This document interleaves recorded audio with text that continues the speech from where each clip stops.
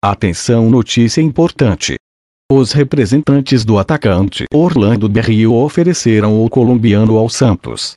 O jogador está sem espaço no Mengão e Jorge Jesus já deixou claro que Navon irá contar com ele para o restante da temporada. O jogador tem contrato com o Flamengo até o final do ano e os dirigentes rubro-negros estão dispostos a liberá-lo antecipadamente.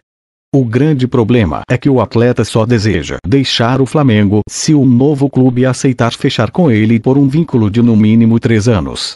Foi assim que o Cruzeiro saiu da jogada e encerrou as negociações.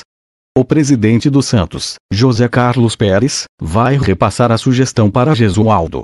Se o português aprovar, as conversas serão iniciadas. Vale lembrar que Berrio esteve na mira do Santos em 2017.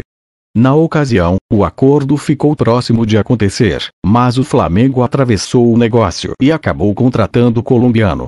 Sua passagem pelo clube carioca não tem sido das melhores e ele é muito criticado por boa parte da torcida flamenguista, que pede sua saída. E aí, amigos? Vocês aprovam a saída de Orlando Berrio do Flamengo?